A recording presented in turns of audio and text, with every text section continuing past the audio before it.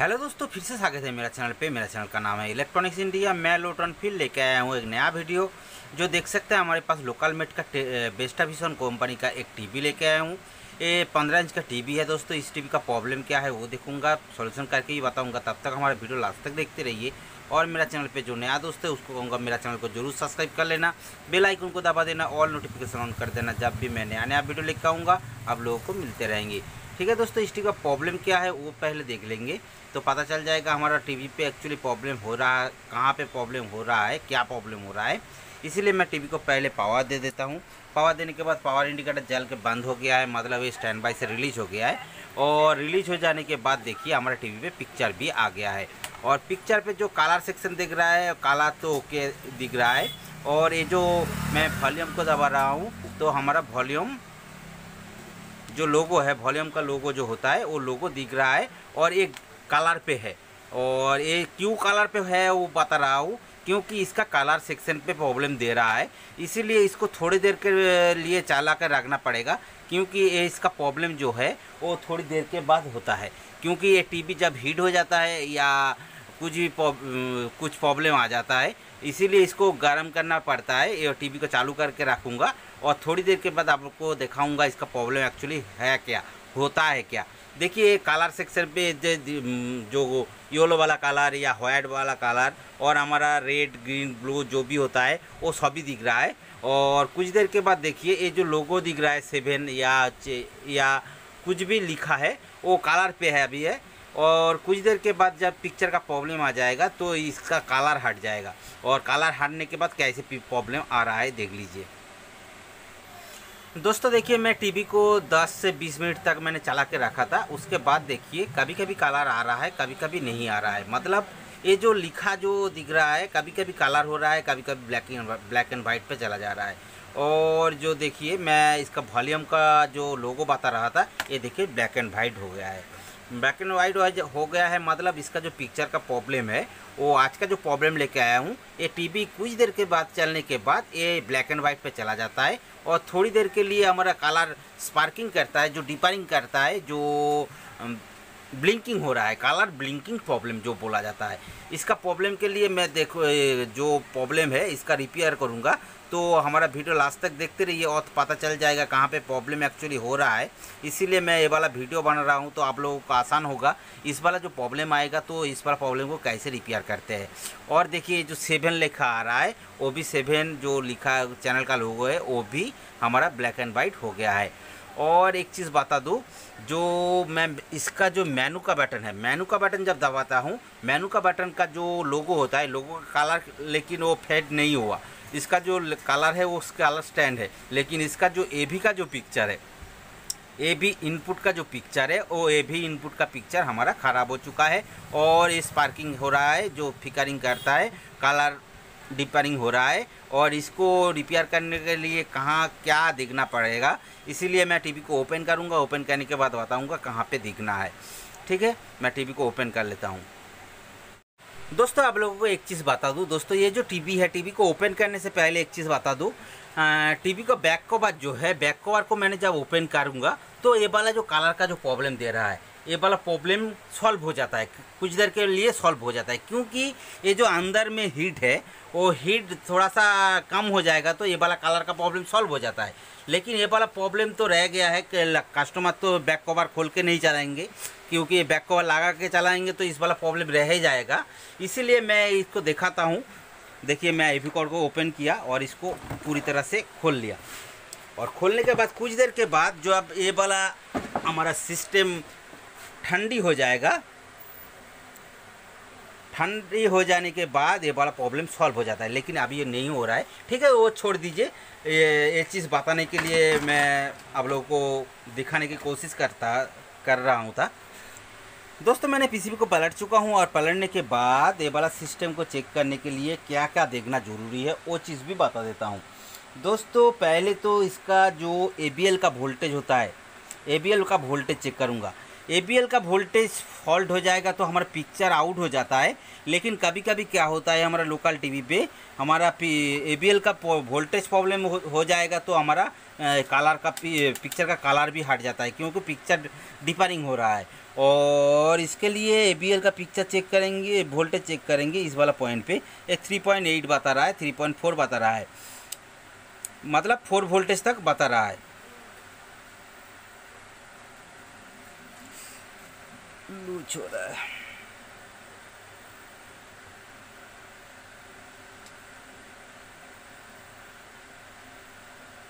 ये voltage repairing हो रहा है। जो भी छोड़िए, हमारा ए का वोल्टेज है अभी इसीलिए हमारा पिक्चर भी है।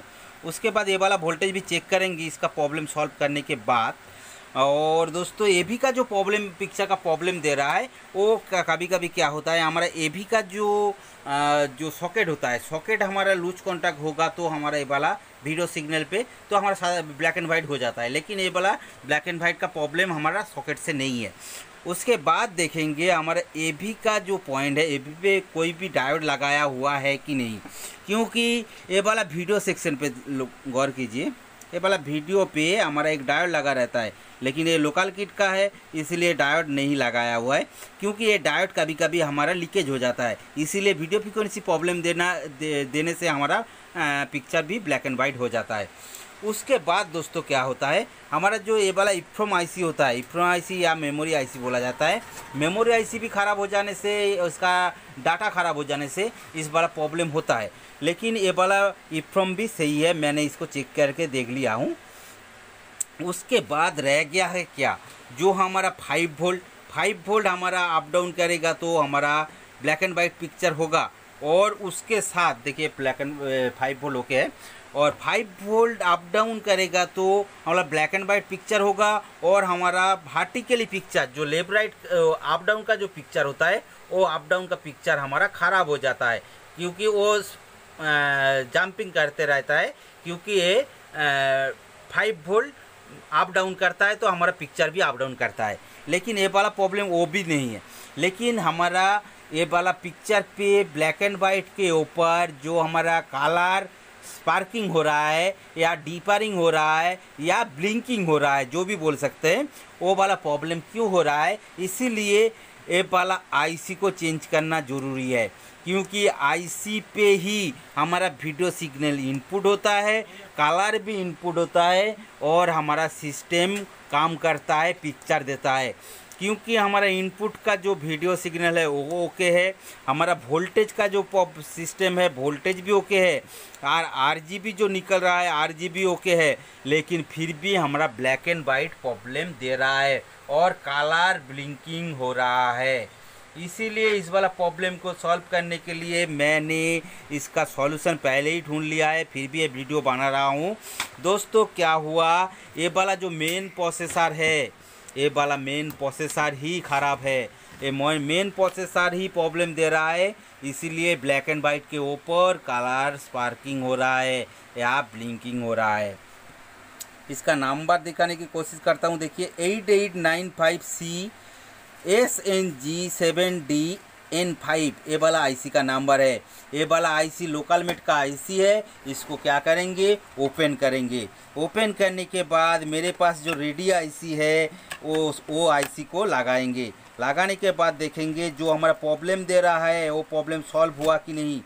और क्योंकि ये थोड़ी देर के बाद इस प्रॉब्लम देता है आईसी लगाने के बाद आप लोगों को पता होगा जो हमारा टीवी का जो पिक्चर का प्रॉब्लम अभी है, वो वाला प्रॉब्लम हमारा साथ साथ प्रॉब्लम नहीं दे रहा है। वो थोड़ी देर के बाद जब आईसी ज़्यादा हीट हो जा रहा है आईसी हीटिंग प्रॉब्लम है आईसी जब हीटी ज़्यादा हीट हो रहा है, तभी ये वाला प्रॉब्लम दे रहा है।